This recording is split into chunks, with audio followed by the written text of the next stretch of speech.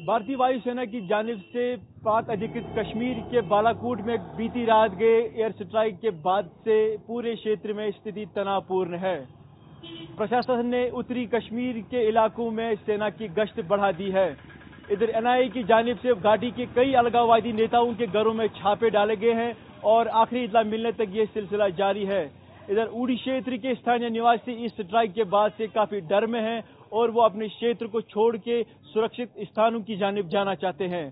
प्रशासन ने श्रीनगर सहित कई इलाकों में इंटरनेट को बंद कर दिया है।